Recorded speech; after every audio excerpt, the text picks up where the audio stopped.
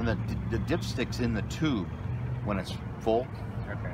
so it's not down hanging in the oil pan. Yeah. So what happens is when I'm running it, the oil drop down, it's in the engine, and then when I park, when I land, the, it comes up and an air pocket builds there. Yeah. So when I pull the dipstick out, the oil never touched the dipstick, and I was like, oh man, right? So we were traveling, so I put a cord in, and it came up.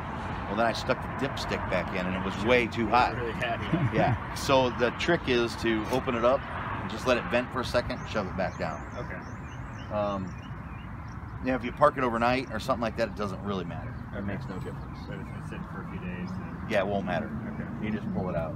So like this morning, I pulled it out. It was perfect. I changed the oil yesterday. Okay. At 50, at 50, uh, 50 hours, it got gearbox oil changed, engine oil changed. I changed everything and went through the whole engine airframe, right? Okay. Um, there's the prop governor. You see the prop governor there? Yeah. The linkage hooks up across the top and goes to your prop lever. Okay. Um, there's a good governor, we'll pop these off, and I'll show you more about that. Um, the prop blades, basically, you want to see a little bit of. These are tight. It's real new. If you pull forward and aft, you know, forward and aft, you, you put your finger in here. A You little tiny bit yeah. Well, that's probably tighter than that's Than it needs that's new. Okay. So it's going to get a little bit looser. Um, that's okay. Okay. The other thing is, you see the screwdriver slot here from that side to that side? Yeah. See that dimension? You usually want to see that much play in the gearbox. So there's a piece of red something there, right? Okay. So I'll put my fingernail there and I'll move that. See how it slop?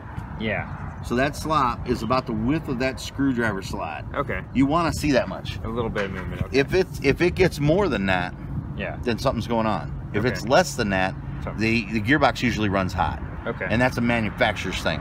okay. But this is about right. This is uh, so if you looked at the width of that screwdriver slot, and you found some piece of dirt, and you put your finger there and you moved it. You see how that slop? yeah. That's about perfect. Okay. So the prop will loosen up a little bit as time goes on. That's It, normal. it will. Okay. And um, so you want it. It actually works better. This one works perfect, but they actually work better when they're a little looser. So the other thing is when I pull it out, I usually grab it up here and pull it out if I'm by myself. Okay. And then if you're pulling it through, the V8 has a lot of compression. So I grab two blades, you know what I mean, to, Yeah. to move it.